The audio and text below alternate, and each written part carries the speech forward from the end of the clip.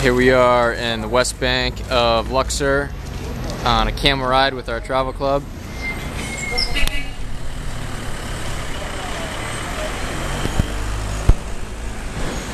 We uh, just got back from the Valley of the Kings and the Valley of the Queens, where uh, all of the pharaohs and queens from the New Kingdom were buried on a huge limestone mountainside. It was pretty cool. So we're wrapping up the day with a uh, camel ride. Uh, in the uh, the West Bank in a village